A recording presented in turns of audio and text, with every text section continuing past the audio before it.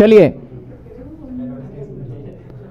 Start करते हैं। Chapter है हमारा मटेरियल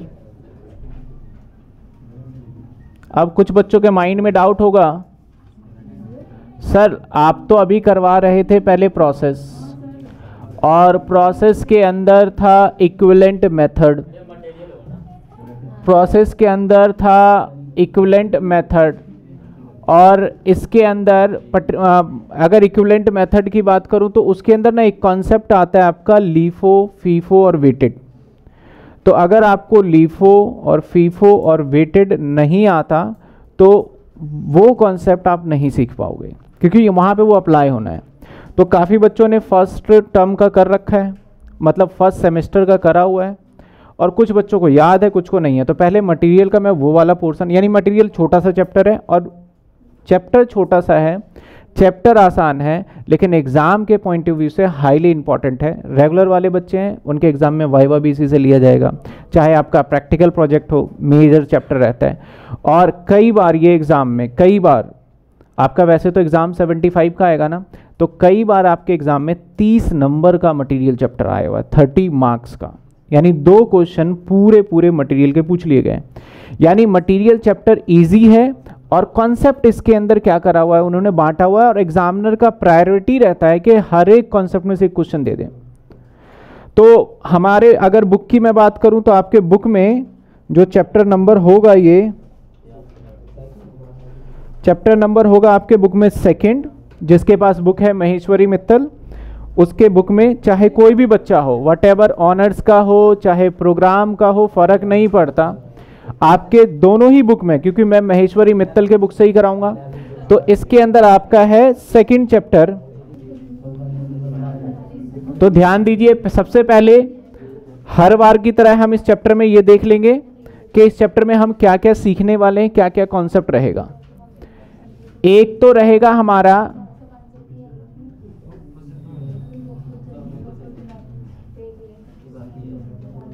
एक होगा हमारा इसके अंदर मटेरियल या फिर मैं उसे बोलूँ सिंपल वर्ड में ई ओ क्यू के नाम से। समझ में आ जाएगा? अभी लिखेंगे ना तो समझ में आ जाएगा। एक होगा इसके अंदर E O Q economic order quantity इसके अंदर लेवल ऑफ़ इन्वेंट्री भी करेंगे हम। एक होगा हमारा स्टोर लेजर एक होगा हमारा स्टोर लेजर और कुछ इसके अंदर इंपॉर्टेंट थ्योरी भी है, जिससे एग्जामिनर पूछेगा। इसमें से क्वेश्चन आएगा ही नहीं आएगा 100 परसेंट आएगा। इसमें से भी 100 परसेंट पूछा जाता है और थ्योरी में से भी पूछा जाता है। बस क्योंकि आपका क्वेश्चन जो बनता है आपके बुक के अंदर, जो सेकंड क्वेश्चन होगा आपके क्वेश्चन पेपर में, उसके अंदर आपका कैसे क्वेश्चन बनेगा? मान लेते हैं आपका सेकेंड क्वेश्चन है। ए होगा और बी और और में भी ए और बी ऐसे रहता है क्वेश्चन तो ए पार्ट में मान लेते हैं ईओ क्यू दे दिया इसने और एक थ्योरी डाल दिया। बी पार्ट में आपका स्टोर लेजर दे दिया और एक थ्योरी दे दिया। तो इस तरीके से पेपर डिज़ाइन कर देते हैं इस चैप्टर में से। यानी क्वेश्चन नंबर जो टू है, वो फिक्स इस चैप्टर में से तो पूछेगा ही पूछेगा। तो हम सबसे पहला करेंगे कौन सा? कॉन्सेप्ट ईओ क्यू और ईओ क्यू क्या है? इकोनॉमिक ऑर्डर क्वांटिटी और सबसे पहले ये वाला जो कॉन्सेप्ट हम करने वाले हैं, इसका बनाने का क्या मोटिव था? मोटिव ये था इस वाले कॉन्सेप्ट को बनाने का। ध्यान से समझिएगा, बहुत सिंपल है, बहुत सिंपल है ये। होता ये था कि जब कभी भी कोई भी गुड्स को खरीदने जाता था मटेरियल किस किस को ज़रूरत पड़ता है, हर जगह ज़रूरत पड़ता है हॉस्पिटल में। हॉस्पिटल में क्या मेडिसिन वगैरह होते हैं, उनके जो भी, आपके होटल में भी ज़रूरत पड़ता है, होटल के अंदर क्या है, उनके जो भी गुड्स है या फिर खाने पीने का सामान है, इसके साथ साथ अगर मैं बात करूँ स्कूल में बुक्स वगैरह लाइब्रेरी में आना है, ये सब ज़रूरत पड़ता है, या फिर किसी भी ग्रोसरी स्टोर में बात कर लो आप, वहाँ भी ज़रूरत पड़ता है।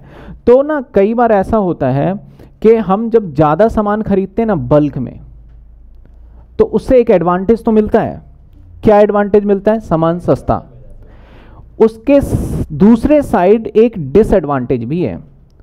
सर, दूसरे साइड डिसएडवांटेज क्या है? उसको रखने का खर्चा आपके ऊपर बर्डन आ जाएगा। अगर आपके पास मान लेते हैं स्टोरेज का एक्सेस कैपेसिटी है, तब तो आप रखिए। लेकिन ज़रूरी नहीं है कि सिर्फ़ जगह होना चाहिए किसी भी सामान को स्टोर करने का। आपको उस सामान को स्टोर करने के लिए कहीं ना कहीं आपको उस हिसाब से मान लेते हैं कुछ ऐसा गुड्स भी हो सकता है जिसे कूलिंग में रखा जाए। ठीक है ना? तो मान लेते हैं कि आप एक शॉपकीपर हो, या आप एक दुकानदार हो, या आप एक होलसेलर हो, कोई भी हो तो आपके सामने मटेरियल खरीदोगे। मान लेते हैं मटेरियल जब भी खरीदते हो ना आप तो बहुत कम चांसेस है कि आपके दुकान के साइड में ही कोई दुकान हो जहाँ से आप सामान ला बेचते हो। मैक्सिमम चांसेस है मान लेते हैं आप दिल्ली में हो।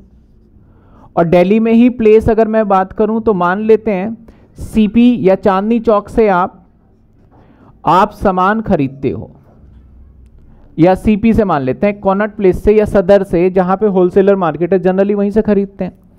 और आप जो दिल्ली में हो, वो रोहिणी में हो।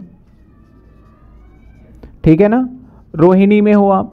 तो यहाँ से यहाँ तक आप जब जाओगे सीपी में तो आप मुझे बताइए बाय ट्रेवल से जाओगे। अगर आपको इतना अंदाज़ा ज़रूर होता है कि डेली की कितनी खपत होती है आपकी माल।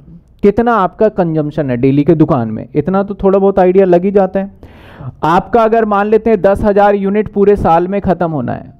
दस हज़ार यूनिट क्या बोल रहा हूँ मैं? पूरे साल में। यानी इसको हम क्या बोल सकते हैं? एनुअल और एनुअल आपको चाहिए एनुअल डिमांड होगा ये। ठीक है? एनुअल डिमांड है हमारा। अब हमारे सामने चैलेंज है कि हम अगर मान लेते हैं दस दस यूनिट करके लाएँ। अगर सपोज़ करो मैं पूछता हूँ दस दस या सौ सौ यूनिट करके लाते हैं तो आप कितनी बार जाओगे सीपी आपका पूरे साल में दस हज़ार है। सौ सौ यूनिट करके आप लाने जाते हो तो यानी आप कितनी बार जाओगे? Hundred time. और हंड्रेड टाइम में जाने आने का क्या होगा? किराया लगेगा ही नहीं लगेगा? लगेगा। एक इससे आप बड़ा परेशान रहोगे, यार बार बार जाना पड़ता है, बार बार आना पड़ता है। एक बार आपने गुस्से में क्या करा? एक हज़ार उठा के ले आए। कि यार बार बार नहीं जाएँगे, दस। अब हुआ क्या जब एक हज़ार आप लेके आए, इसका आपका फ़ायदा तो हुआ कि जाना आपको सिर्फ़ दस बार ही, लेकिन दूसरा स्टोर करने के आपके पास फैसिलिटी नहीं है। वहाँ भी नुकसान हो गया, कैसे डिस्ट्रॉयड हो गया? मान लेते हैं कुछ सामान हमारे इधर उधर डिस्ट्रॉयड हो गए, कुछ आपके गर्मी की वजह से खराब हो गए, कुछ इस तरीके से हो सकता है, पैकेट इधर उधर चले गए। तो आपने बोला, यार दस दस लाते हैं तो महँगा पड़ता है। हज़ार लाते हैं तो फिर स्टॉक हमारा डिस्ट्रॉयड हो रहा है। ऐसी कोई तरकीब तो आए कि हमें कितना लाएँ जो कि हमारा सब कुछ ठीक रहे। तो उस केस के अंदर, इस चैप्टर का जो बनाया गया, बोला गया, आपको लाना चाहिए एक ऐसा क्वांटिटी जहाँ पे आपका सामान लाओ तो नुकसान भी ना हो और आपका फ्रिक्वेंटली भी क्या हो जाए, आना जाना कम हो जाए। ठीक है ना? यानी आपको दो चीज़ों की चिंता सता रही है। यहाँ पे दो चीज़ों की टेंशन है। एक नंबर वन, के बार बार आना जाना पड़ रहा है। तो जब आप यहाँ से यहाँ जाते हो ना सामान लाने या लेने ला, लाने के लिए तो उसको बोलते हैं ऑर्डरिंग कॉस्ट उसको कौन सा कॉस्ट बोलेंगे हम? क्योंकि जाना पड़ रहा है ऑर्डर करना पड़ रहा है फिर लेके आना उसे बोलेंगे ऑर्डरिंग कॉस्ट उसके बाद दूसरी टेंशन है सामान तो ले आए लेकिन उसको क्या करना है आपको स्टोर तो दूसरी आपको टेंशन है स्टोरिंग कॉस्ट और स्टोरिंग कॉस्ट को मैं बोल सकता हूँ कैरिंग कॉस्ट ठीक है ना इसको क्या बोल सकते हैं? यानी आपके सामने दो चैलेंजेस हैं।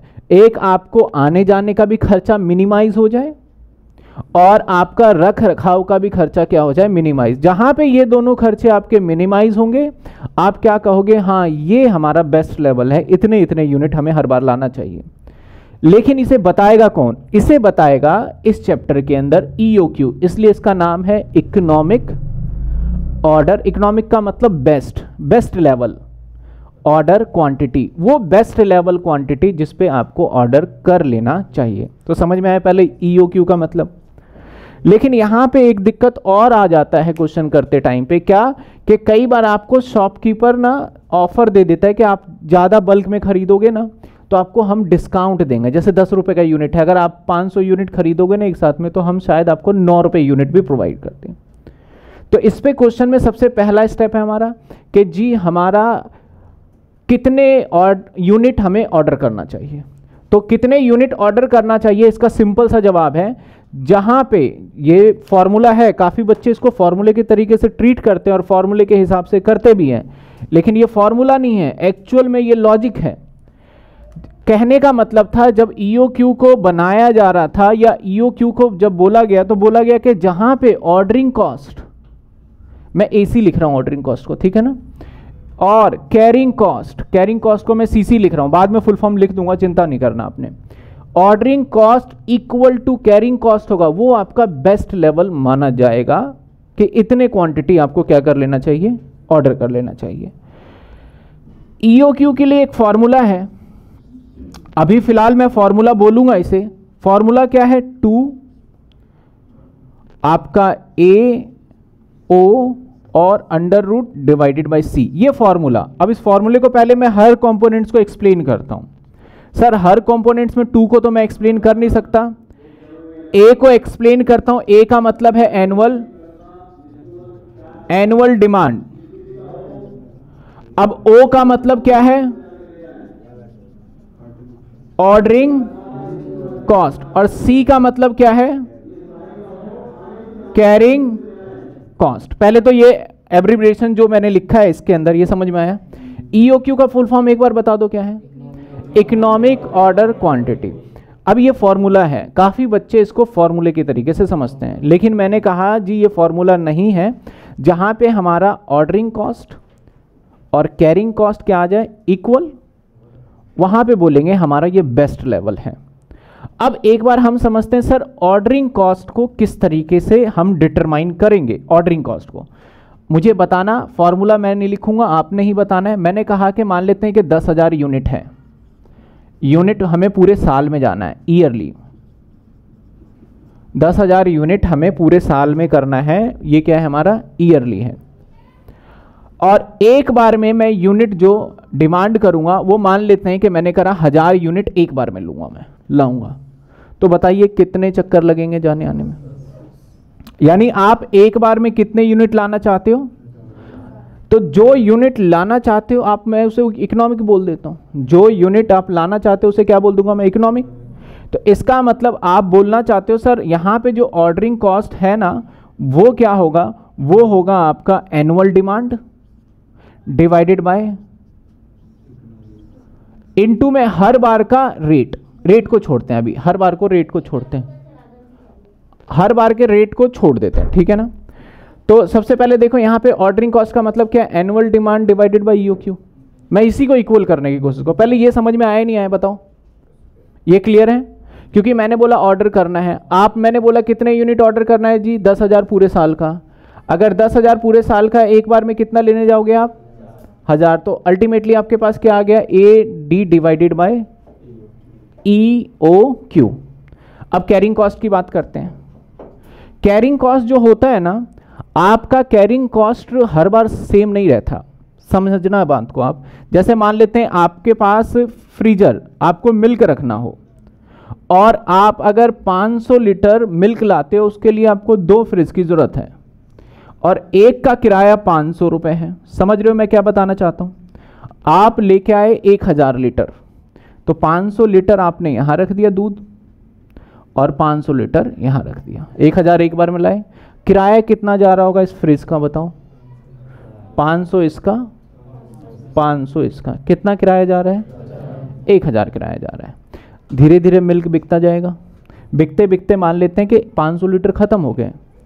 तो मैं सिर्फ़ इसका किराया दूँगा या मैं इसका भी किराया दूँगा? दोनों का जब मेरा 500 लीटर ख़त्म हो चुका है, बिक चुका है तो मैं यूज़ कौन सा कर रहा हूँ? तो मुझे कौन सा किराया पे करना चाहिए? सिर्फ़ 500 करना चाहिए। It means carrying cost constant नहीं रहता। मैं बोल सकता हूँ स्टार्टिंग में जब गुड्स लाया तो कैरिंग कॉस्ट क्या था? हज़ार। जैसे गुड्स बिकता जाएगा, मेरा कैरिंग कॉस्ट भी क्या होता जाएगा? आपको पता हो या ना हो, आपको पता होना चाहिए, बहुत सारे ऐसे मार्केट में पर्सन, ऐसी कंपनीज़ अवेलेबल है जो बोलता है, पर आवरली के हिसाब से मैं आपसे पैसे चार्ज करूँगा। पर आवरली के हिसाब से। अब पर आवरली के हिसाब से देखा जाए और पर आवरली के हिसाब से, क्वांटिटी के हिसाब से, पर स्लॉट के हिसाब से, हर कस्टमाइजेशन अवेलेबल है। मैंने कहा जी, मुझे दो फ्रिज की ज़रूरत है। बोला, हम आपके आपके यहाँ दो फ्रिज की ज़रूरत है, हम रखवा देते हैं। दो फ्रिज, आप जैसे जैसे यूज़ करोगे, उसके हिसाब से रीडिंग आएगा, उसके हिसाब से किराया ले लेंगे हम। पहले स्टार्टिंग में कितने कर रहे थे हम? दो यूनिट कर रहे थे। बंद कर देना। स्टार्टिंग में कितने कर रहे थे? ठीक है ठीक है, कोई नहीं। तो स्टार्टिंग में क्या था कि दो था तो दोनों का मैंने ये कर लिया और एक एक मैं क्या समझाने की कोशिश कर रहा हूँ, समझ रहे हो? कि कैरिंग कॉस्ट कांस्टेंट रहता ही, नहीं रहता? तो जब कोई चीज़ कांस्टेंट नहीं होता, उसका रेट निकालने के लिए आपको पता है क्या करना पड़ता है? एवरेज उसके जब कोई चीज़ पता नहीं है, मान लो आपकी, किसी दिन आप दस रुपये कमाते हो, किसी दिन आप बीस रुपये कमा रहे हो, एक दिन दस कमाया, एक दिन बीस कमाया तो आपने नॉर्मली डेली कितना कमाया? पंद्रह. कैसे? एवरेज करके. तो कैरिंग कॉस्ट निकालना हो ना अगर आपको तो मैं कैरिंग कॉस्ट की मैं बात करता हूँ तो कैरिंग कॉस्ट होता है हमारा कि आपको जो सामान लेके आए हो, उसको ही तो रखना है। आप जो सामान खरीद के लाए, उसी को तो रखना है। और जो सामान खरीद के लाओगे, एक बार उसे क्या बोलते हैं? इकोनॉमिक ऑर्डर क्वांटिटी क्या इसका रेट कांस्टेंट रहेगा? नहीं रहेगा। तो यानी, या तो वन बाई टू कर दूँ, या टू कर दूँ मैं। बात एक ही है। तो हमारा ऑर्डरिंग कॉस्ट क्या है? Annual demand divided by EO Q एक तरीके से मैं बोल सकता हूँ कि मुझे इससे पता चल जाएगा कि कितनी बार आना जाना पड़ेगा। जैसे आपने बोला, सर, दस हज़ार डिवाइडेड बाई अगर हज़ार करोगे तो मुझे पता चल गया कि आप कितने दस बार जाओगे और दस बार आओगे। मैंने बोला, एक बार का खर्चा दस रुपये है। तो आप फटाफट निकाल लोगे। आप दस बार जाते हो, एक बार का खर्चा अगर आपका दस रुपये है तो आपका टोटल साल में ना खर्चा कितना आ जाएगा? सौ रुपये बड़े इजीली डिफाइन कर लोगे, ठीक है ना? मैंने कहा, ये फॉर्मूला जो ड्राइव हुआ है, वो क्या बोलता है? ऑर्डरिंग कॉस्ट और कैरिंग कॉस्ट क्या हो जाए बराबर? क्या मैं यहाँ पे बोल सकता हूँ A D annual demand divided by या एनुअल डिमांड को मैं ए से डिनोट कर देता हूँ, ठीक है? E O Q is equal to E O Q divided by बोल सकता हूँ? पहले इसको देखिए मैंने ये क्या बताया था? ये क्या है? ऑर्डरिंग कॉस्ट ये क्या है? कैरिंग कॉस्ट मैंने कहा, आपका इकोनॉमिक ऑर्डर क्वांटिटी उस लेवल पे होता है जहाँ पे ऑर्डरिंग कॉस्ट और कैरिंग कॉस्ट क्या आ जाए? तो मैं अगर इससे ऑर्डरिंग कॉस्ट बोल रहा हूँ, इसे कैरिंग कॉस्ट बोल रहा हूँ तो हमारा ई e क्यू कितना निकलेगा? इन दोनों को इक्वल कर देते हैं। जब आप इन दोनों को इक्वल करोगे, ठीक है? और अगर इन दोनों को इक्वल करते हो तो आपके पास रिज़ल्ट क्या आता है? या मैं एक बार इसको और थोड़ा सा डिटेल ले जाऊँ क्या? इनटू में रेट कर दूँ मैं? इनटू में रेट और रेट को मैं डिनोट करूँगा ओ से पर ऑर्डर कॉस्ट इनटू में मैंने क्या कर दिया? रेट और ये आ गया पर ऑर्डर और यहाँ पे क्या होगा? इनटू में सी यानी कैरिंग कॉस्ट पहले ये देखिए। मैं एक एग्जांपल ले लेता हूँ। आप मुझे जवाब देना और यही फॉर्मूले में पुट करूँगा। मेरा दस हज़ार यूनिट मेरे को पूरे साल में चाहिए। एक बार में मैं मंगवाऊँगा 200 यूनिट और हर बार मंगाने का ऑर्डरिंग कॉस्ट ओसी जिसे मैं बोल रहा हूँ। ऑर्डरिंग कॉस्ट मेरा है, मान लेते हैं पाँच सौ रुपये और कैरिंग कॉस्ट है मेरा, मान लेते हैं आपका बीस रुपये के हिसाब से। बीस रुपये के हिसाब से। सबसे पहले बताइए मेरा ऑर्डरिंग कॉस्ट कितना लगेगा? दस हज़ार यूनिट लाऊँगा मैं, और एक बार में दो सौ लाऊँगा तो कितने चक्कर लग गए? पाँच चक्कर लगे, या कितने? पचास। कितने चक्कर लग गए? और एक बार जाने आने में कितना खर्चा हो रहा है हमारा ऑर्डरिंग कॉस्ट तो यानी अगर मैं इसको मल्टीप्लाई 500 करूँ तो क्या आएगा? पच्चीस हज़ार। यानी आपको पूरे साल में आने और जाने में आपका कितना खर्चा हो रहा है? पहले ये बात बताओ, मुझे समझ में आई। ठीक है, एक और एग्ज़ाम्पल लूँ या ये समझ में आया? ऑर्डरिंग कॉस्ट समझ में आया? इसके बाद कैरिंग कॉस्ट क्या है? रखने का खर्चा। आपका ये है रखना। खर्चा अभी जुड़ा नहीं है। ये है रखना और ये आना और जाना। खर्चा तो मल्टीप्लाई जितने रुपए लग रहे हैं वो करोगे ना? मान लेते हैं कि मेरा, मैंने बताया कि मेरा इकोनॉमिक ऑर्डर क्वांटिटी क्या है? 200 और 200 डिवाइडेड बाई टू ये तो हो गया हमारा टोटल और एक बार में कितना खर्चा कैरिंग कॉस्ट है मेरा 20 तो इनटू में 20 तो क्या खर्चा आ जाएगा हमारा? दो हज़ार हमारा रखने का खर्चा है। तो एक तो हमारा ऑर्डरिंग कॉस्ट है और एक हमारा क्या है? कैरिंग कॉस्ट ऑर्डरिंग कॉस्ट का मतलब क्या हो गया? माल को लाने, ले जाने का खर्चा। इसका मतलब क्या है? एक्चुअल मीनिंग ए डी या A divided by E Q आना जाना, सिर्फ़ ये पता चल रहा है राउंड जैसे आपने क्या करा यहाँ पे सिंपली दस हज़ार डिवाइडेड बाई दो सौ तो आपको पता चला पचास तो पचास क्या है आपके? राउंड पचास बार आपको जाना पड़ेगा, आना पड़ेगा। लेकिन हर बार का खर्चा क्या किससे निकालेंगे? अमाउंट से। तो इसलिए मैं ब्रैकेट में क्या कर रहा हूँ? अमाउंट अमाउंट की जगह पे मैं यहाँ पे लिख दूँगा ओ और इसकी जगह पे मैं लिख देता हूँ क्या? सी ताकि हमारा ये फॉर्मूला जो है पूरा ड्राइव हो पाए। बताइए, यहाँ तक समझ में आया? इसका मतलब मैं सिंपली कहूँ ऑर्डरिंग कॉस्ट और कैरिंग कॉस्ट तो ऑर्डरिंग कॉस्ट में मल्टीप्लाई ओ हो रहा है और E O Q divided by two carrying cost में मल्टीप्लाई क्या हो रहा है? अब इसको हम सॉल्व कर लेते हैं एक बार। ये क्या आया हमारा? डिवाइडेड बाय ये क्या आ गया हमारा? E O Q into में C divided by two multiply करते हैं टू ए आ गया। इसको करेंगे तो क्या आ जाएगा? और ये हमारा क्या है? ईओ की स्क्वायर इंटू में सी अब आपको पता है सी को यहाँ से हटाना है तो उसके डिवाइड में करेंगे। लो सी आ गया आपको पता है स्क्वायर को हटाना है तो इसको क्या करना होगा? बन गया फॉर्मूला आप इसी की, इसी इक्वेशन को तो सॉल्व करना समझ में आ रहा है कैसे किया मैंने सॉल्व और यहाँ पे मैंने क्या लिखा? Formula E O Q is equal to two A O divided by C आपने देखो, मैं इतनी सारी बातें आपको पता है क्यों बता रहा हूँ? क्योंकि आपसे एग्जामिनर कुछ नहीं, ऐसा नहीं पूछेगा कि आप बराबर करके दिखाओ। आपको सारी डिटेल देगा, आपने पुट करना है, आपका आंसर आपके हैंड में आएगा। लेकिन कई बार इसके अंदर अगर केस स्टडी बेस्ड क्वेश्चन पूछ लिया कि आप ईओ क्यू को एक्सप्लेन करिए। थ्योरी पूछा जाएगा। What do mean by the E O Q तो एक्सप्लेन तो करो ईओ क्यू वो लेवल होता है जहाँ पे हमारा ऑर्डरिंग कॉस्ट और कैरिंग कॉस्ट क्या होता है? इक्वल होता है फॉर्मूले को रखेंगे और दोनों फॉर्मूले को हम सॉल्व करके दिखा देंगे हमारा थ्योरी कंप्लीट यही तो है हमारा ईओ क्यू पहले ये बात समझ में आई या नहीं आई? या एक बार और बताऊँ इसे? एक बार और बता दूँ? या क्लियर है? क्लियर है? ये कैसे मैंने काटा है, जिसके पास मैथमेटिक्स नहीं था, मैं सिंपल बता दूँ। स्क्वायर को हटाने के लिए आपको यहाँ रूट लगाना अलाउड है, और सी को मैं नीचे ले गया डिवाइड करके, यहाँ बच गया ई ओ क्यू अब मैं आपसे एक क्वेश्चन पूछूँगा। आप मुझे जवाब देना। बड़ा सिंपल क्वेश्चन है, और ये लॉजिकल क्वेश्चन है। बुक से थोड़ी देर के लिए हट के चलना। मैंने जो बताया इसी के बेसिस पे मैं नंबर वन पॉइंट में बताना चाहता हूँ, ए ए का मतलब एनुअल डिमांड मेरा दस हज़ार यूनिट है। ए, मेरा एनुअल डिमांड दस हज़ार यूनिट है। एक सेकेंड हाँ जी कम टू द पॉइंट एक क्वेश्चन में बेसिक सा क्वेश्चन पूछना चाहता हूँ।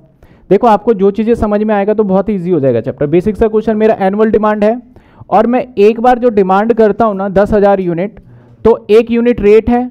तो रेट है हमारे पास रेट है मान लेते हैं दस रुपये का। रेट है दस रुपये का। यानी दस हज़ार यूनिट है और रेट कितने का है? दस रुपये का। मैंने कहा ऑर्डरिंग कॉस्ट जो है ना हमारा, वो है बीस रुपये ऑर्डरिंग कॉस्ट बीस रुपये का मतलब एक बार जाना और आना बीस रुपये खर्च हो जाएँगे किराए में। समझ में आई बात आपको? कैरिंग कॉस्ट जो है सीसी मैंने बोला टेन परसेंट है। तो sir carrying cost ten percent का मतलब हमेशा याद रखना, जब भी कैरिंग कॉस्ट आपको परसेंटेज में देगा, हमेशा वो रेट का होगा। इसका मतलब एग्जामिनर बताना चाहता है कैरिंग कॉस्ट हमारा वन रुपीज़ है।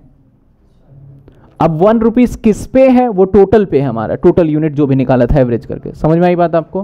तो आपको कैरिंग कॉस्ट कभी भी अमाउंट में दे भी सकता है, लेकिन मैक्सिमम चांसेस है आपको कैरिंग कॉस्ट अमाउंट में नहीं दिखेगा। तो मैंने बता दिया टेन परसेंट तो टेन परसेंट किसका है भाई ये? टेन परसेंट इस रेट का है। रेट का टेन परसेंट यानी एक रुपये समझ में आई बात आपको?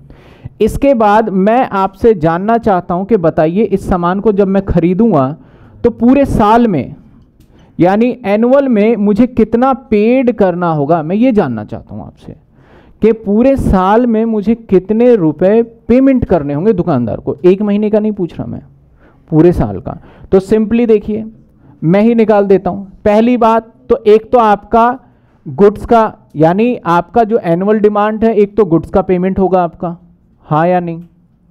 एक तो आपका पूरा गुड्स का पेमेंट होना है। दूसरा नंबर प्लस यहाँ पे क्या जाएगा आपका? ओ यानी ऑर्डरिंग कॉस्ट तीसरा, आपका क्या जाएगा? कैरिंग कॉस्ट यही तीनों को जोड़ दोगे तो आपको पूरे साल का पता चल जाएगा। एक बात मैंने इसमें मिसिंग कर दिया कि हमारा E O Q E O Q जो है, हम हर बार जो माल या क्वांटिटी मंगवाएँगे, वो माल मंगवाने का रहेगा हमारा हर बार का। मान लेते हैं हम 200 यूनिट। सपोज़ करो 200 यूनिट, ठीक है? मैं ये जानना चाहता हूँ कि पूरे साल में मेरे पॉकेट से कितने रुपए दुकानदार को जाएँगे। क्वेश्चन समझ में आया? आप बताइए, मैं आपको दो मिनट का टाइम देता हूँ। निकाल के बताओ। सिंपल सा क्वेश्चन है जनरल नॉलेज का क्वेश्चन एक तरीके से। कि मैं दुकानदार के सामान खरीदूँगा ना, अब पूरे साल में जब खरीदूँगा तो पेमेंट कितना करना होगा? टोटल कॉस्ट बताइए मुझे। निकाल के बताइए फटाफट रजिस्टर पेन निकालिए और उसमें बताइए। सिंपल सा पॉइंट है। मैंने बहुत सारी बातें समझाई है। मैं बात करूँ तो गुड्स का खर्चा तो बड़े आसानी से निकाला जा सकता है। सर क्या होगा? गुड्स का एक्सपेंस गुड्स का एक्सपेंस होगा। दस हज़ार यूनिट मल्टीप्लाई बाय टेन तो दस हज़ार यूनिट मल्टीप्लाई बाय टेन तो गुड्स का खर्चा आ गया हमारा। पहले तो इस बात को आप एग्री करिए कि सर गुड्स का खर्चा एक लाख है ग्यारह सॉरी एक लाख रुपए। अब और कौन से खर्चे जोड़ लेने चाहिए बताओ? एक ऑर्डरिंग कॉस्ट जोड़ लेना चाहिए। ऑर्डरिंग कॉस्ट कैसे निकलता है पता है? ऑर्डरिंग कॉस्ट इजिकल टू होता है हमारा annual demand divided by E O Q अभी बताया था ना नोट करने नहीं दिया, लेकिन अब नोट कर लेना आप। इनटू में ऑर्डरिंग कॉस्ट ठीक है? क्या आएगा? एनुअल डिमांड कितने का है हमारा? और वैसे भी देखो आप सिंपल सोचो ना ऑर्डरिंग कॉस्ट का मतलब लाने ले जाने का कितना होगा? आपको पता है कि जी हम दस हज़ार यूनिट साल में लाएँगे। एक बार में हम लेने कितने यूनिट जाएँगे? तो आपको पता चल गया कितने चक्कर लगेंगे? पचास। तो आपको पता है पचास बार जाओगे और एक बारी का खर्चा बीस है तो इंटू में निकाल नहीं लोगे आप इजीली क्या आ गया ये? नहीं, पचास इंटू बीस एक हज़ार ना? चलिए, एक हज़ार ऑर्डरिंग कॉस्ट मैंने कहा था गुड्स प्लस में ऑर्डरिंग कॉस्ट और क्या जोड़ दें इसमें हम? चलिए, इधर कैरिंग कॉस्ट निकाल देता हूँ। कैरिंग कॉस्ट कैसे निकालेंगे? एवरेज बेसिस पे मैंने बताया था कैरिंग कॉस्ट के लिए E O Q divided by two into में सी सी जो भी कैरिंग कॉस्ट रहेगा हमारा रेट तो ई ओ क्यू कितने थे हमारे? 200 unit divided by two into में सी कितने? तो कितने आ जाएँगे ये? यानी आ गया हमारा सौ रुपए। तो टोटल आंसर जो आएगा, एक लाख ये, एक हज़ार ये, सौ रुपए ये। तो सही जवाब है एक लाख ग्यारह सौ रुपए। एक लाख ग्यारह सौ रुपए टोटल खर्च होगा। अब मैं, चलो, आपसे जनरल क्वेश्चन पूछता हूँ, बताओ, क्या हम ये गुड्स जो लेके आ रहे हैं, क्या ये इकोनॉमिक ऑर्डर क्वांटिटी के अकॉर्डिंग है जेनविनली क्या ये इकोनॉमिक ऑर्डर क्वांटिटी के अकॉर्डिंग मैंने मंगवाया है सारा माल? तो जवाब होगा नो। सर, कैसे पता चला? क्योंकि ये और ये इक्वल यही तो थ्योरी है इसका। कि आपका जहाँ पे क्या हो जाता है? ऑर्डरिंग कॉस्ट और कैरिंग कॉस्ट क्या हो जाता है? बराबर। तो इस क्वेश्चन को देख के बोल दोगे, आपके बिज़नेस के अंदर गुड्स का डिस्ट्रॉयड होने के चांसेस ज़्यादा बनते हैं यहाँ पे। आप बता सकते हो। कोई डाउट यहाँ तक? नहीं? तो एक बार आपने अभी फ़िलहाल क्या नोट करना है? ये एग्ज़ाम्पल रहने देना, बेशक अगर करना चाहते हो तो करना। एक तो ये फॉर्मूला नोट करिए आप और ऑर्डरिंग कॉस्ट की, यहाँ पे लिखना आप। ऑर्डरिंग कॉस्ट निकालने का फॉर्मूला है A divided by E O Q into में ओ ठीक है? और कैरिंग कॉस्ट निकालने का फॉर्मूला क्या है हमारा? E O Q divided by two मैं यही लिख रहा हूँ सामने, जो लिखा है वही इधर लिख रहा हूँ। इन टू में सी ये हो गया ठीक है? एनुअल डिमांड निकालने का कोई फॉर्मूला नहीं है जितने का सामान है इतने का है मल्टीप्लाई करिए आप। ये तो थ्योरी का मतलब ईओ e क्यू समझाना जो चाहता है। आ, ये ऑर्डर कॉस्ट था ये मैंने गलत लिख दिया ओसी होना चाहिए था ये मैंने एसी कर दिया ठीक है? वैसे इसकी ज़रूरत नहीं है इसे मैं मिटा देता हूँ। हाँ जी प्रोग्राम वाले बच्चे इलिस्ट्रेशन नंबर 2.4 और ऑनर्स वाले बच्चे इलिस्ट्रेशन नंबर 2.1 निकालेंगे। अब मैं टू अगर बोल रहा हूँ तो इसका मतलब है ये चैप्टर नंबर टू है। ये हंड्रेड आपका नॉर्मली डिवाइड करके E O Q divided by two इसको क्या बोलेंगे? ये हमारा प्रोसेस है जहाँ पे हम कैरिंग कॉस्ट निकालेंगे, फिर मल्टीप्लाई वन करेंगे। तो इसको मल्टीप्लाई करने का हंड्रेड रुपीज़ है ये कैरिंग कॉस्ट है हंड्रेड रुपीज़ का। मिल गया हर किसी को क्वेश्चन चलिए, बहुत बेसिक सा क्वेश्चन है। इतने सारे हमने थ्योरी इतने डिटेल में किया है ना, कि आप में से किसी को दिक्कत नहीं होगा। हाँ एक और इसका नाम है। एक और नाम बता दूँ, जैसे इकोनॉमिक ऑर्डर क्वांटिटी है ना, इसे री ऑर्डर क्वांटिटी के नाम से भी जाना जाता है।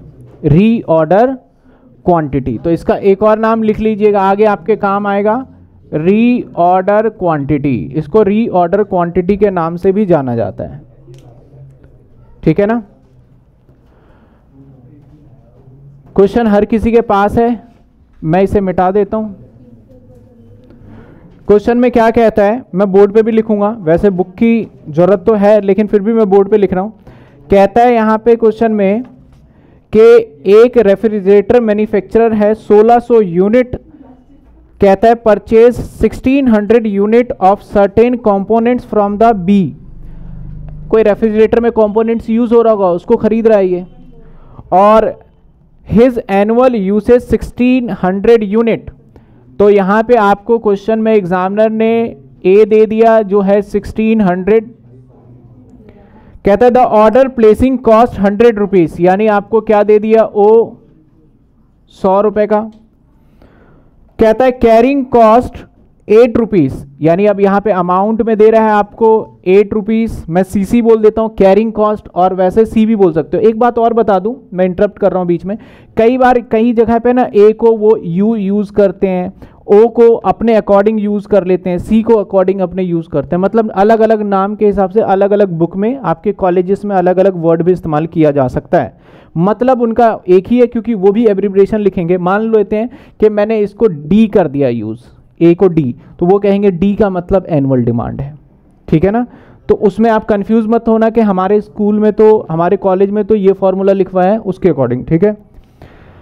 आगे कहता है, आठ रुपए calculate economic order quantity number of order दूसरा पॉइंट देखो क्या बोलता है नंबर ऑफ़ ऑर्डर भी निकालना है आपको। Time interval between the two order yearly आपका इसके बाद एक टेबल बना रखा है। हम टेबल की बात नहीं करेंगे। हम सिर्फ़ यहाँ पे सीख रहे हैं क्या ई ओ क्यू निकालना। दैट्स इट उसके आगे जो बना रखा है ना कि कैसे करेंगे, वो अगला स्टेप रहेगा हमारा। फॉर्मूले के हिसाब से क्या होगा? E O Q is equal to two A O divided by C अब देखा जाए तो टू क्या है हमारा? और सिक्सटीन हंड्रेड इंटू में हंड्रेड डिवाइडेड बाय एट और इसका अंडर रूट आपको कैलकुलेटर अलाउड है तो मैं कहूँगा कैलकुलेटर पे एक बार में ही निकालें इसको बार बार करने की ज़रूरत नहीं है, जैसे टू इंटू में सिक्सटीन हंड्रेड इंटू में हंड्रेड ये कर लिया। बस आपने अंडर रूट को प्रेस करना है, अपने आप ही उसका जो होगा अंडर रूट वैल्यू फाइंड कर लेगा। काफ़ी बच्चों को आता है, काफ़ी बच्चों को नहीं पता अंडर रूट साइड दूसरे तरीके से निकालें। तो अंडर रूट वैल्यू फाइंड करोगे तो ऑटोमेटिकली क्या आ जाएगा, यहाँ पे अंडर रूट आ जाएगा। हाँ डिवाइड करने के बाद टू इंटू में सिक्सटीन हंड्रेड इंटू में हंड्रेड डिवाइडेड बाय एट उसके बाद अंडर रूट तो ये आ गया हमारा। एक बात मैं पूछता हूँ, ये 200 क्या है बताओ? 200 क्या है ये? ईओ क्यू यानी इकोनॉमिक ऑर्डर क्वांटिटी यहाँ पे ऐसा क्या होता होगा? ऑर्डर कॉस्ट कैरिंग कॉस्ट क्या होता होगा? प्रूफ करके देख लें एक बार। चेक भी तो करना चाहिए प्रूफ करके कि भाई ये चीज़ ठीक भी आ रही है, नहीं आ रही। वैसे तो जब यहीं से आया तो आएगा ही। ऑर्डरिंग कॉस्ट क्या होगा हमारा? ऑर्डरिंग कॉस्ट का फॉर्मूला लिखा है ना ये रहा ऑर्डरिंग कॉस्ट का। Annual demand 1600 divided by E O Q जो निकाल लिया हमने 200 सौ में 100 क्या आता है ये? 800 ये दो से करेंगे तो आठ। चलिए, यानी सी भी यही आना चाहिए। सी क्या था? E O Q divided by two into में रेट क्या आ रहा है? 800 यही हमारा थ्योरी है इसका कि दोनों के आगे हमारा इक्वल आ ये मैंने कई बार बोल सकता है वेरीफाई करें प्रूफ करें, बोलेगा तो हम इस तरीके से ही प्रूफ करके दिखाएँगे, ठीक है? चलिए एक बार नोट करिए इसके आंसर को। सॉल्यूशन देखिए।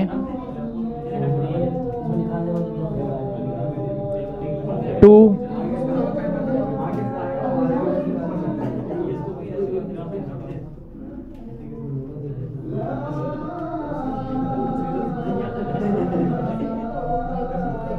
कैसे फाइंड करेंगे?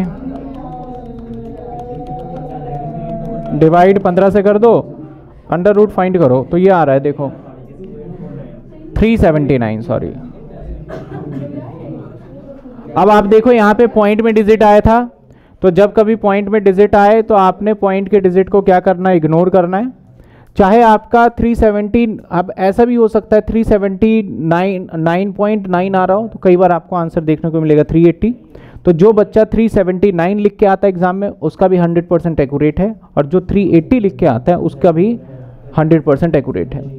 चलिए एक और क्वेश्चन देखते हैं। मैं बोर्ड पे ही लिख रहा हूँ question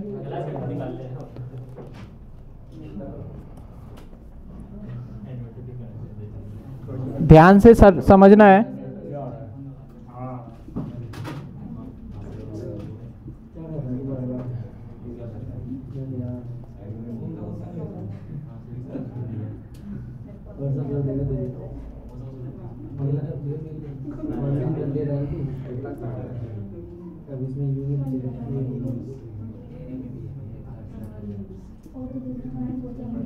Per unit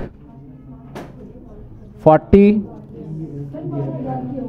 ordering cost 200 carrying cost 25 percent book की कोई ज़रूरत नहीं है, सामने मैंने क्वेश्चन लिख दिया है। बताइए। ध्यान से देखना। सेम इसी तरीके का क्वेश्चन कई बार एग्ज़ाम में आता है। क्वेश्चन बहुत आसान है। और आपका आंसर भी उतनी आसानी से आपने निकाल के दिया। लेकिन मार्क्स उतनी आसानी से नहीं मिलेगा आपको। आप ध्यान देना क्या है? आप ध्यान से देखो एनुअल यूसेज रुपीस होता है और यहाँ पे मैं यूनिट की बात करता हूँ। मैं हर बार एनुअल डिमांड यूनिट के टर्म्स में बात कर रहा हूँ। एग्जामिनर ने चलाकी से यहाँ पे क्या दे दिया रुपीस में? तो आप अगर इस तरीके से जिन बच्चों ने आंसर निकाला है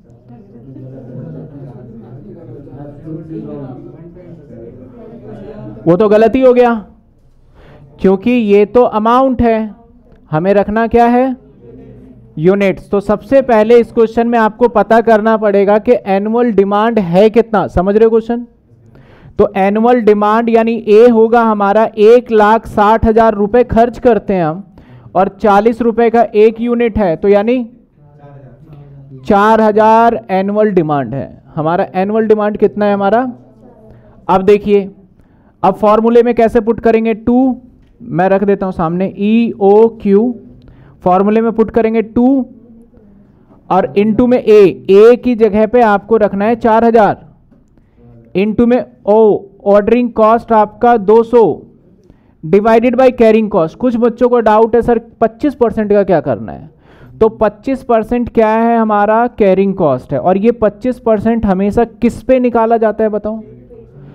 पर यूनिट प्राइस पे तो पर यूनिट प्राइस क्या है हमारा? 40 तो 40 का आप 25 परसेंट निकालोगे, जो कि आएगा 10 समझे बात आप? इसका अंडर रूट निकालिए तो आपका जवाब आएगा। आंसर इज़ 400 तो ये सात नंबर का क्वेश्चन होगा एग्ज़ाम में। अभी देखा पिछला वाला गलत हो गया था। आसान था। अब यहाँ पे भी बच्चों का मेजर जो क्वेश्चन मार्क है, वो ये लाइन है। और कुछ भी नहीं है। तो जब कभी भी बोलता है ना eight percent of average stock इसका मतलब कुछ नहीं है। आपको इसी यूनिट पे एट परसेंट फाइन करना है। यानी जब कभी भी, मैंने बोला ना, जब कभी भी आपको परसेंटेज के टर्म्स में सीसी देगा ऑलवेज वो होगा किस पे? पर यूनिट प्राइस पे। समझे बात? यानी अगेन यहाँ पे आंसर कैसे निकालेंगे? E O Q is equal to two multiply. Annual demand मैंने बताया यहाँ पे रुपीस का सिंबल नहीं है वन लैख इनटू में carrying cost ordering cost fifty divided by divided by eight percent of what twenty तो ट्वेंटी का एट परसेंट क्या आएगा? वन पॉइंट इसका अंडर रूट करेंगे, इसका अंडर रूट तो क्या आएगा इसका अंडर रूट करने के बाद बताइए। कितने आ रहे हैं? फाइव फाइव नाइन पच्चीस सौ। आप पता नहीं कैसे निकाल रहे हो। कैलकुलेटर ज़रूरी है। Answer is twenty five hundred. मेरे हिसाब से आपने फिर 20 से तो डिवाइड नहीं कर दिया था इसको। देखिए 2500 आ रहा है। ठीक है, इसका जवाब है 2500 ऑनलाइन में भी बच्चों का आंसर आ गया था 2500 बात करूँ ना तो कैरिंग कॉस्ट का मतलब होता है रखने का खर्चा। अब रखने का खर्चा चाहे आपका रेंट दे रहे हो, वो भी रखने का खर्चा है, जहाँ पे आपने सामान ला के रखा। और हो सकता है वहाँ पे आपने फ्रिज रखा हो। मान लेते हैं सामान को रखने के लिए फ्रिज। और उस फ्रिज को आपने ईएमआई पे ख़रीदा हो और उस पर इंटरेस्ट जा रहा है आपका। वो भी आपका रखने के खर्चे में ही काउंट होगा। Any kind of expense related to storing वो कैरिंग कॉस्ट के अंदर काउंट होगा। तो यहाँ पे एनुअल रिटर्न एक तरीके से एनुअल रिटर्न आप इतना पैसा कमाते। एनुअल रिटर्न का मतलब होता है इतने परसेंट आप कमाते। किस पे? जो भी आप इन्वेस्टमेंट करोगे इन्वेस्टमेंट आपकी थर्टी रुपीज़ रख है तो तीन रुपए आप कमाते। जो कि आपको सामान खरीदने की वजह से आप ये तीन रुपये नहीं कमा पाओगे। तो ये आपका खर्चा है। और ये खर्चा तीन रुपये क्यों हो रहा है? क्योंकि आप कैरिंग कॉस्ट करोगे। उसे सामान को रख ही तो रहे हो। तो कैरिंग कॉस्ट का पार्ट ये भी रहेगा हमारा। रेंट मकान का किराया, ये ऑल्सो जो है, वो भी किसका पार्ट होगा? कैरिंग कॉस्ट तो अगर मैं यहाँ कैरिंग कॉस्ट आपको बताऊँ तो कैरिंग कॉस्ट क्या होगा हमारा? एक रुपये किराया और प्लस तीन रुपए जो मेरा ब्याज मिलना चाहिए, जो मुझे प्रॉफिट का हकदार हूँ मैं, वो नहीं मिल पा रहा किसी रीजन की वजह से तो ये तीन भी कैरिंग कॉस्ट का पार्ट ही होगा। तो अल्टीमेटली कैरिंग कॉस्ट का पार्ट कितने रुपए आएँगे? चार रुपए। अब देखिए, यानी आपका E O Q two into में आठ सौ इंटू में दस डिवाइडेड बाय चार, क्या आ गया? दो सौ। नोट करिए। कौन सा point annual rate of return annual rate of return का मतलब है इन्वेस्टमेंट पे पैसा। अब जब आप गुड्स को खरीद के लाओगे कहीं ना कहीं पैसा आपका ब्लॉकेज हो रहा है। मान लेते हैं कि मैंने ब्याज पे पैसे कहीं से लिए और गुड्स खरीद के रख लिया। तो अगर आप गुड्स को नहीं खरीदते तो ब्याज पे पैसे नहीं लेने पड़ते। अगर आप सामान को खरीद के रख रहे हो तो ब्याज पे पैसे लेने पड़ रहे तो जो ब्याज है वो सामान रखने की वजह से तो लेना पड़ रहा है आपको। तो ये भी किसका पार्ट माना जाएगा आपका? कैरिंग कॉस्ट का। लाने का खर्चा नहीं है ये। सामान को रखने पे आपका इतना नुकसान हो रहा है। तो ये कैरिंग कॉस्ट और रेंट भी क्या है हमारा? कैरिंग कॉस्ट और ये किस पे निकाला जाएगा परसेंटेज जो इन्वेस्टमेंट होता है इन्वेस्टमेंट अमाउंट हमेशा निकलेगा इस पे पर यूनिट कॉस्ट पे, ठीक है? चलिए 200 यूनिट आ गया, यहाँ भी 200 यूनिट तभी 126 भी नहीं आ रहा था, ठीक है? हंड्रेड वो हंड्रेड आ जाएगा आपका, ठीक है? अरे आपका, चलो मान लेते हैं कि 100 की जगह 10 रखा था, लेकिन तब भी तो 64 नहीं आ रहा था।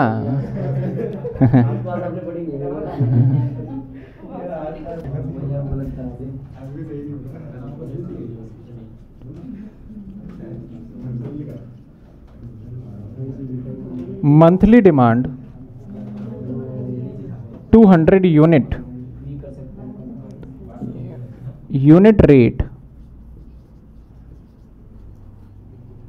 बारह रुपये ऑर्डरिंग कॉस्ट नहीं सॉरी पाँच है ये। ऑर्डरिंग कॉस्ट बारह रुपये storage cost storage cost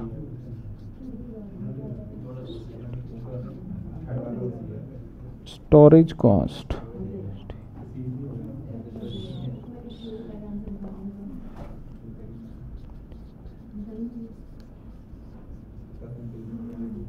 ये है दो परसेंट। इंटरेस्ट रेट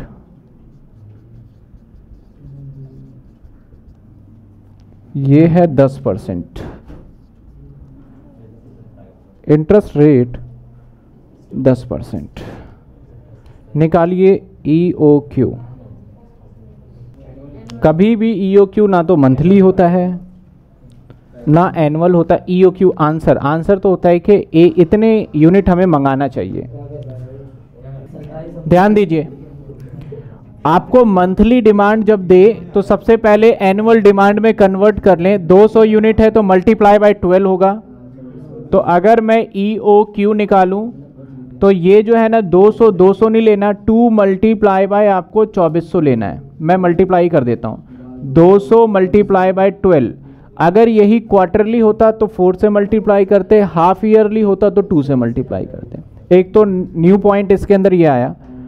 इसके बाद मल्टीप्लाई करेंगे ऑर्डरिंग कॉस्ट जो कि क्वेश्चन में दे रखा है बारह रुपये डिवाइडेड बाय स्टोरेज स्टोरेज का मतलब होता है रखने का खर्चा। फिर से परसेंटेज दिया है। मैंने पहले पॉइंट में ही जब मैं समझा रहा था, मैंने बताया जब परसेंटेज दे, किस पे निकालना? यूनिट पे। तो परसेंटेज है दो परसेंट दो परसेंट किसका? पाँच का तो पाँच रुपए का दो परसेंट क्या होता है? पॉइंट अब इंटरेस्ट भी एक तरीके से खर्चा है। अभी तो समझाया था मैंने कि इंटरेस्ट भी हमारा खर्चा है तो दस परसेंट है तो दस परसेंट पाँच का क्या होगा? क्या आ रहा है? थ्री ज़ीरो 309 बोल लो 310 वही आसपास राउंड फिगर में आ रहा होगा।